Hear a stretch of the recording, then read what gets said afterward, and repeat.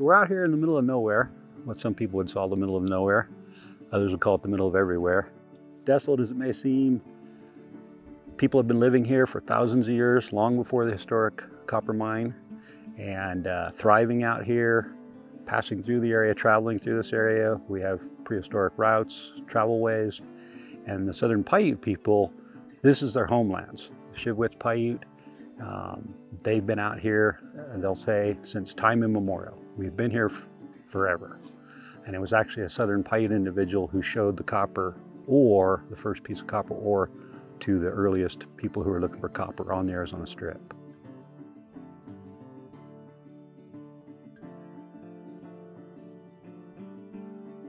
The earliest mining efforts were in the late 1800s, and uh, copper mining is a real boom and bust uh, business because the price of copper depends on the national market or the international market.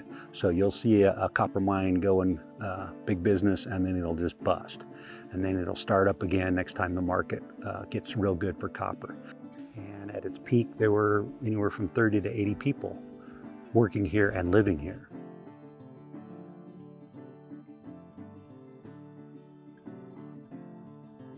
Real boom was spurred on by World War I, the need for copper then, and the electrification of America, basically.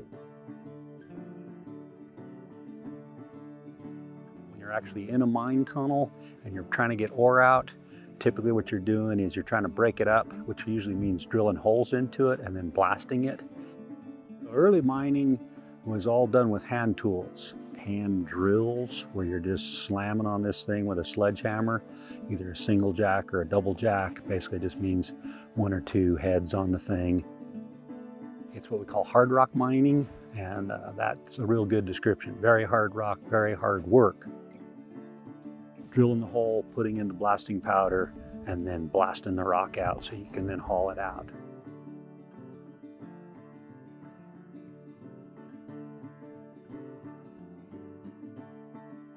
Ultimately, they did develop uh, mechanized drills. There, you could drill the holes a lot quicker, but the amount of dust generated in doing this in this hard rock mining, you end up with, uh, you know, ailments later in your life. White lung, they call it. You know, the, the dust gets in your lungs and just kills you ultimately. 500 feet below the ground uh, is a network of tunnels uh, from getting for getting the copper ore out of the ground keep those tunnels uh, intact, you had to shore them up with timbers. The timbers came from the mountains east of here, um, which coincidentally was where the timbers for the Latter-day Saints temple in St. George also came from. My grandfather actually came over from Italy and worked in coal mines in northern New Mexico, and that was his job was to put in the safety timbers, the shoring, and keep the mine safe. You had hoists to bring the ore up out, uh, rails to move the ore to where it could be hoisted out. Uh, sometimes, depending, you'd have a uh, you know mule actually pull in the ore cart uh, coming through. Uh, and the earliest hoists were again horse powered or mule powered to pull that to the surface, and then later they did go to mechanized hoists.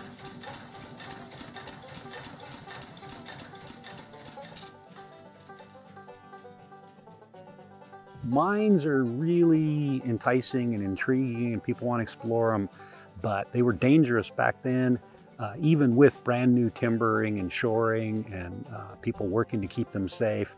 Now all those timbers are rotted or burned out, uh, fallen down, collapsed. So definitely not a safe place to be. When it comes to a mine, stay out, stay alive.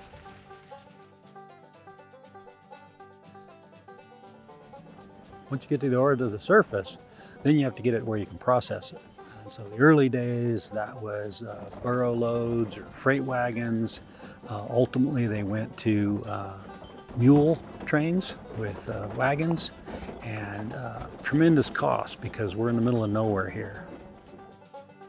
Back then it was bam, bam, bam, mile after mile, and you could literally find old wagon routes by bits and pieces that fell off. The wagons literally were falling apart. You can still travel what was a prehistoric route, a historic route, this mine route, the ore route. You can travel that now in the comfort of a RZR or a UTV or a pickup truck. And if you break down out here in the summertime, you're gonna know real quick just how brutal this place can be. Going across with the wagon trains, you would go spring to spring, maybe have you literally have to stash grass or hay for the mules to eat along the way because again, hot stinking desert. There's not that much out to eat out there. You just got to keep moving kind of thing.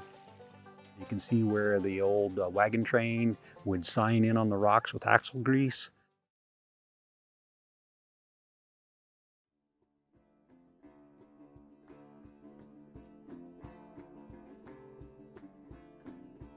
Tremendous amount of effort. Uh, get across the desert uh, through tight canyon narrows, and then the final obstacle of crossing the Virgin River, which, you know, on a good day you splish splash on across. On a bad day, you end up washed away. And uh, the irony of drowning in the desert. And all just to get to St. Thomas, Nevada, where it can be loaded on a train. Then it would go by rail to Salt Lake City, Utah, where it would be processed.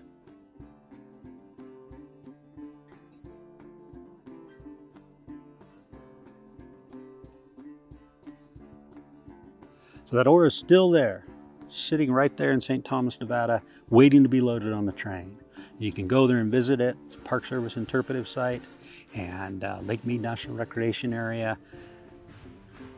Imagine what it was like all those years ago, uh, living there, uh, working there. Uh, you can walk the streets, look at the old buildings, and imagine living in the desert there. Tremendously hot in the summertime, surprisingly cold in the wintertime lot of these desert towns, these little farm towns, their nicknames sometimes are more illustrative of the real life conditions. Uh, there's one called Lick Skillet. In other words, you didn't have much left over. Uh, never sweat. And that, of course, is a, a sort of a satirical comment on just how hot it is.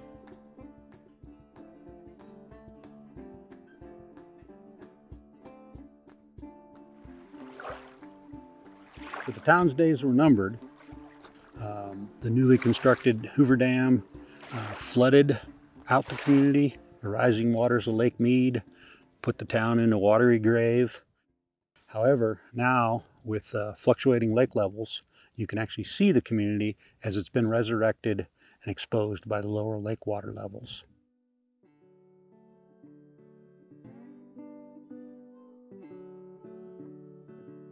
The old buildings here at Grand Gulch Mine really tell the human story of this place. Uh, bunkhouse, mess hall, cookhouse, uh, really let you think about how it was living here once you got out of the mine, you know, the hard work of the day. Uh, you know, first you had to get clean. Um, some places they would actually have a like a shower house or a bath house where you could get cleaned up. A lot of times, if you didn't have that much water, you just kind of wiped yourself off and went on about your day after that. Um, the artifacts on a historic site, the cans, the bottles, those will tell that story as well. Um, you find toys on historic sites, and then that gets you thinking, okay, there were kids here. Um, you know, what, what, what is the story behind each and, each and every artifact? So what were people eating here? Well, the artifacts, the tin cans and the bottles down the slope, they would tell us, you know, were they drinking cocoa? Were they drinking tea? Were they drinking coffee? Those tins are going to be down the slope there. They'll tell us that story. And because you had wagons going to St. Thomas hauling ore, well, when they would come back, they wouldn't come back empty. They'd get fresh produce from the St. Thomas farming community. The melons from St. Thomas were a real treat out here in the middle of nowhere. Um, if you needed beef, they had an arrangement with the ranchers where when they needed uh, meat, they wouldn't go to the butcher. They would just shoot a cow out here, butcher it out here, pay the rancher after the fact.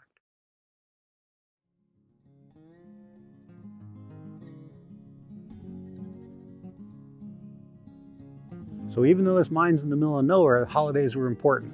Uh, there's a newspaper account, 1912, of the big Thanksgiving dinner hosted by the mine superintendent. Everybody had a great feast. Um, Christmas time and uh, the old areas around here, a real treat was getting a Christmas orange because they had to be purchased so far away and traveled so far, and you got your very own special Christmas orange. there was a community here. It wasn't just miners in the middle of nowhere. Women were prohibited from working in or even entering the mine, but they were still here and they fulfilled traditional roles, mending clothing, cooking, and cleaning.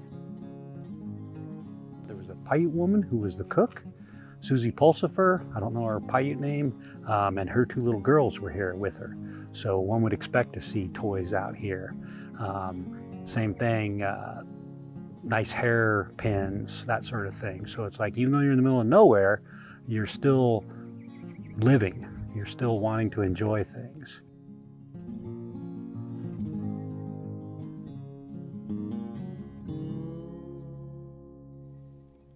So when you visit historic sites, it's the artifacts and the buildings that tell the whole story. Uh, real important to uh, look at things, but don't disturb them. Don't destroy them. Don't take them because the next person, they won't be able to get that same story. The information will be lost. They're, everything's protected by law on historic sites, and uh, we need to respect the past, preserve it for the future.